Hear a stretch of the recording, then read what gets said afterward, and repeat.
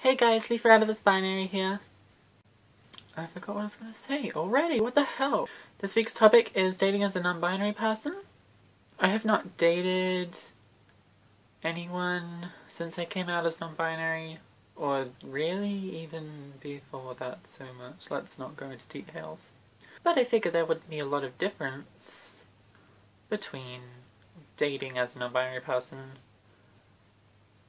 or as a binary person. I don't see I don't see what difference there would be. Other than really gendered language. Because obviously, unless they're comfortable with it, you wouldn't be able to call your partner boyfriend or girlfriend because that is not cool. I personally like the term NB friend because it's adorable. Lot, I know a lot of people just use partner when they refer to their non-binary significant other. But I like NB friend because it's adorable. I don't know how I'm not dating anyone like hot shit right here. Oh my god. I'm so sorry.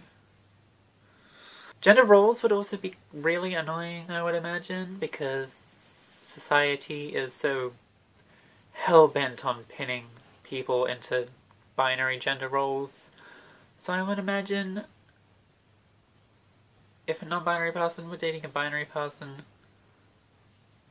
the binary opposite of the binary person, the gender roles of that would be pinned on the non on the non-binary person. Jesus, that was so complicated. Okay, so for instance, if a non-binary person were dating a cis man, I would imagine female gender roles would be pinned to the non-binary person. Probably more so if they were assigned female at birth.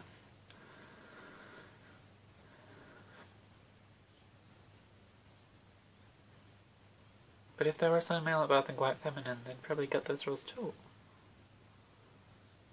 Oh jeez, I don't know. This is all complete guesswork. I have no experience myself, so I am going completely on what I think would be some of my recent videos are so awkward and not helpful in any way. Dating as a non-binary person.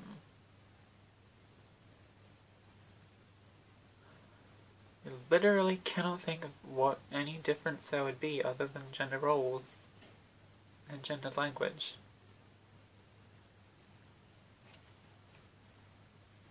Oh jeez, I don't know, I'm so sorry.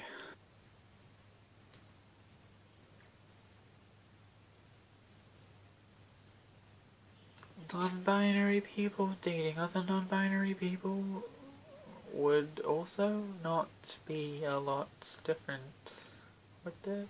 I don't know. Oh my god, I did not prepare for this video at all. I think I'll probably leave it there. I didn't really think about this video much. I just always assumed that there wouldn't be a lot of difference between dating as a non-binary person dating as a binary person. Dating a non-binary person or dating a binary person is just dating, who knows. Ask someone who isn't so magnificently single. So yeah, I'm gonna leave it there. Also don't forget that we still need new members for the channel. So if you're at least 17 and assigned male at birth, you should definitely send us an application. I will link everything in the description. And yeah. Yeah, that's all I had to say. I'm sorry this video was kind of not good. It should be better next time, hopefully.